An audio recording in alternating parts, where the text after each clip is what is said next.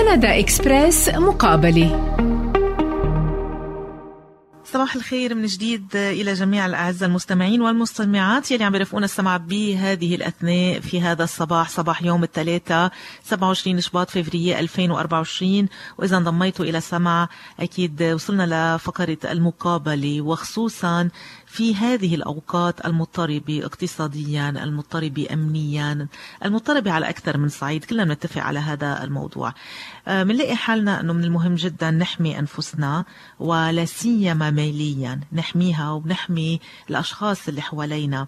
مما يعني الاهتمام جيدا بماليتنا وعلى وجه التحديد عم بحكي بهالصباح عن التأمين على الحياة. التأمين على الحياة يلي ضل فترة طويلة من أنواع التابو يلي مجرد ما نذكر التأمين على الحياة بالنسبة للبعض هو كان مثل كأنه آه، فيل مش حلو إنما مع تطور المجتمع ومع التهديدات الكثيرة الموجودة في الحياة ومع الصعوبات الاقتصادية كتار صاروا يعملوا حسابات كتير لهالموضوع وخصوصا أرباب العائلات والمسؤولين عن عائلات لحتى يضمنوا نوع من الأمان المالي لعائلاتهم من بعضهم.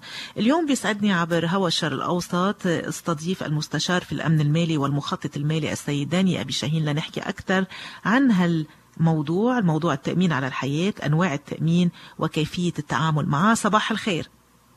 صباح النور مدام بوناسيف يسعد صباحك. بالبداية آه، إذا في مجال تعرفنا يعني هل الانتقال من موضوع كان كما ذكرت تابو بالنسبة لكتار لموضوع مقبول وكتار يلي عم يسألوا عنه ولكن ما بيعرفوا لوين آه، يتجهوا كيف ينقوا بوليسة التأمين على الحياة شو هي أنواع التأمين على الحياة وكيف نتعامل معها. فخلينا نبدأ بأنواع التأمين على الحياة. هل هي عنا عدة أنواع؟ طبيعي في عدة أنواع على الحياة التأمين على الحياة آه، في نوع اسمه آه، مؤقت يعني هو مثل الأجار سعره ثابت آه، لمرحلة معينة وما برد مصاري. بس هذا تأمين رخيص يعني الواحد ما عنده القدرة المالية في يبلش بهيك برودكت.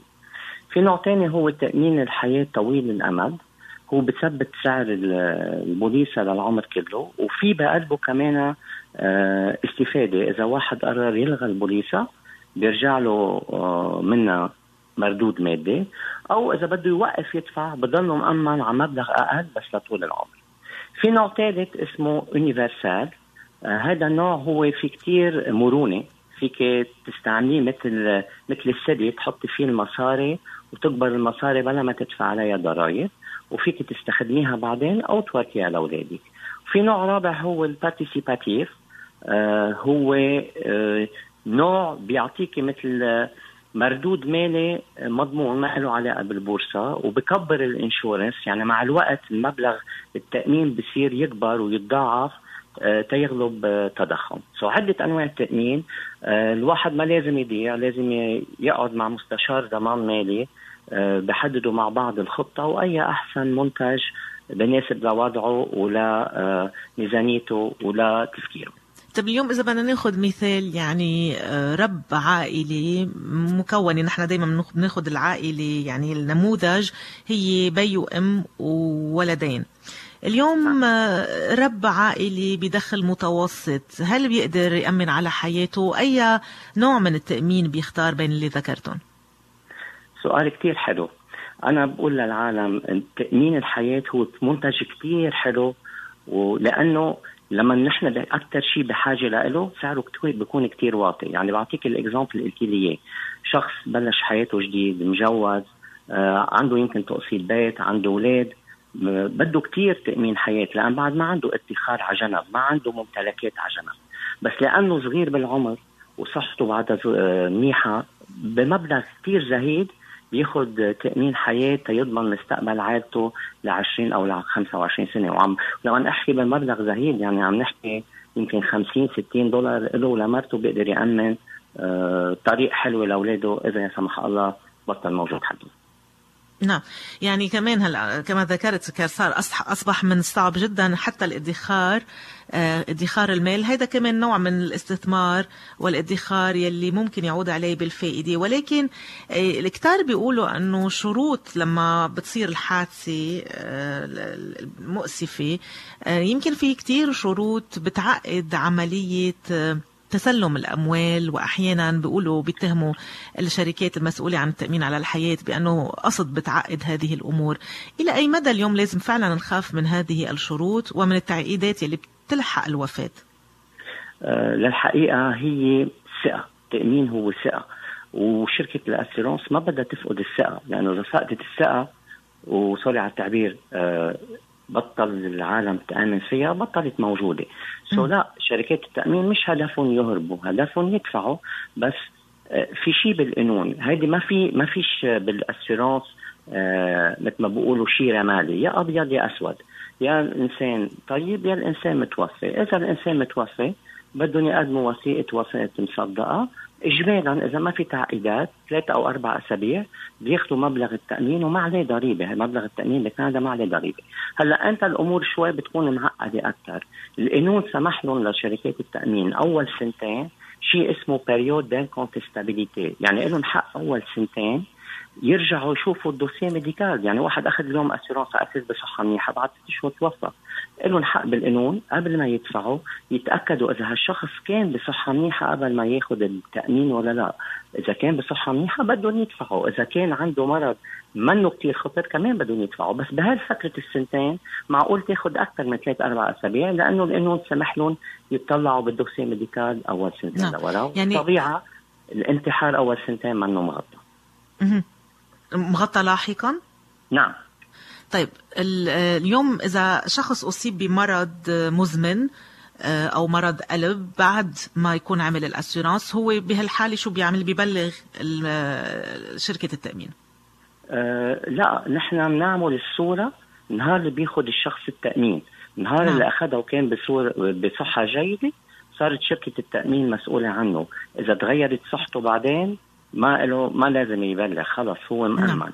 نعم. لذلك أنا بقول لهم للعالم آه يا المرض بيسبقني على البيت يا أنا بسبق المرض وأكيد كل ما تكونوا أصغر تكونوا بصحة أحسن تاخذوا التأمين بسعر أنسب وبتضمنوا كل حياتكم فيه لأن ما حدا في يقشطكم إياه أنتم الوحيدين فيكم تقرروا تلغوه إيه ولا لا. نعم.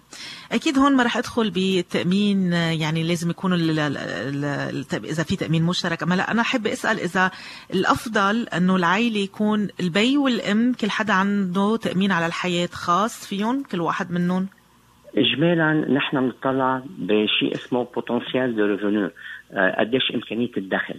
آه، قد إيه بتدخل على البيت؟ أكيد الشخص اللي عمره 25 سنة عنده آه، إمكانية تدخيل مصاري على البيت من عمر 25 لعمر 65 نعم. so so, ال insurance need تبعه يعني حاجة التأمين أعلى من شخص عمره 55 سنة اللي هو عمله من عمل ممتلكاته واولاده كبروا بعد عنده فترة صغيرة تيحمي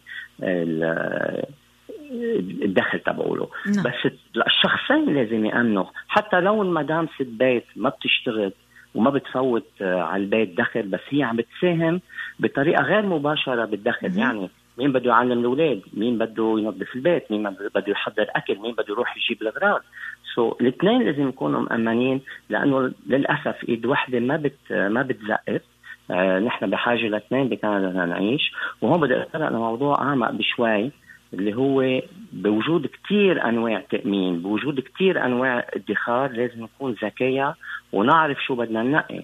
مشان هيك ضروري جدا نجتمع مع مخطط مالي يحط الأهداف تبعنا ونمشي بطريقة ذكية هل الأسبق آخذ تأمين حياة آه، برد لي مدخول بعدين أو أعمل تأمين تقاعد أو أدفع تقسيط البيت تبعي بوقت أسرع so كل نعم. هدول لما نقعد مع مخطط مالي ونحط الأسئلة اللازمة والأجوبة اللي نحن أصلا ما مفكرين فيها ونضطر نفكر فيها توضح الصورة أكثر نعم. بنحط طريق عمل مضبوطة وبناخذ step by step يعني خطوة ورا خطوة آه شو لازم ينعمل وشو لازم ينحط وبصير أضبط للشخص من ناحيتين من ناحية التأمين ومن ناحية الادخار الصورة قدامه واضحة أكثر وأهدافه بيوصل عليها بطريقة أسهل واذكى وأسرع.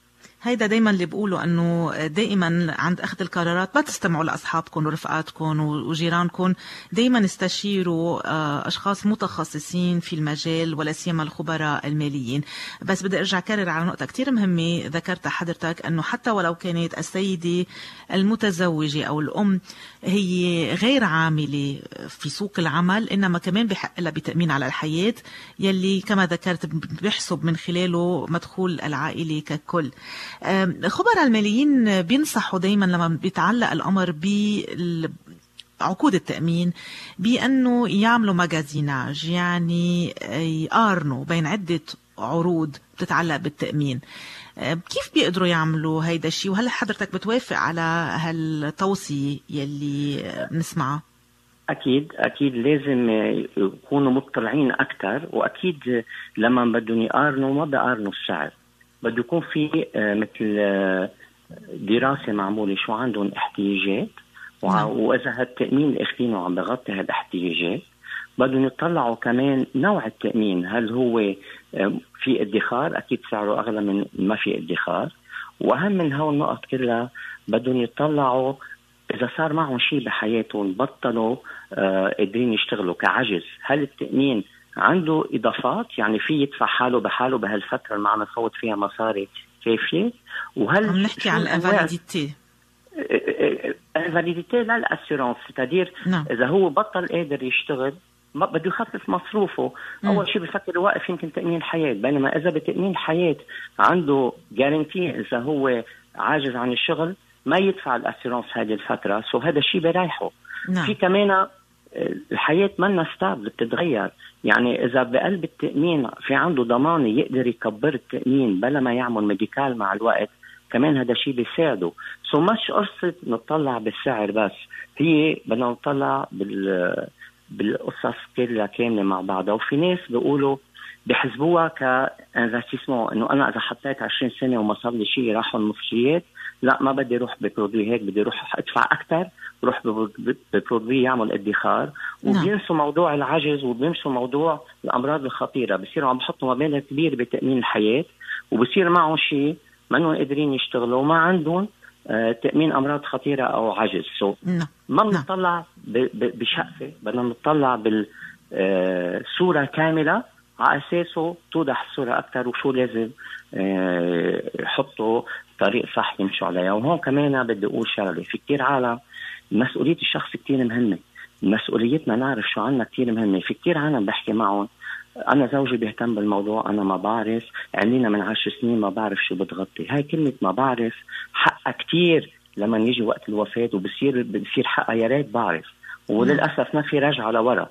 so مسؤولية الأشخاص يعرفوا دائما شو عندهم. يعملوا كل فترة آه، مراجعة يمكن حياتهم تغيرت اجى طفل جديد على البيت كبروا بيتهم صار عندهم mortgage أعلى آه، كبر ال income تبعهم غير style de vie تبعهم أكثر سو كل فترة لازم يكون في مراجعة تشوفوا هالتأمين إذا بعده مناسب أو نعم. منه مناسب وبالإضافة لهالشيء كما ذكرت قبل الدومان كثير متغير في كثير قصص جديدة يمكن فيهم يستفيدوا منها ما كانت موجودة قبل نعم. so نعم. ضروري جدا الصورة الكاملة وضروري جدا المراجعة ومسؤولية الشخص كثير بتاخذ بتاخذ بعين الاعتبار.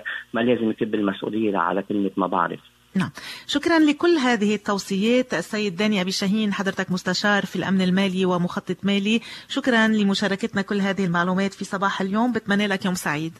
ميرسي لك وللمستمعين وبتمنى لكم آه، نهار كثير حلو يا رب. شكرا.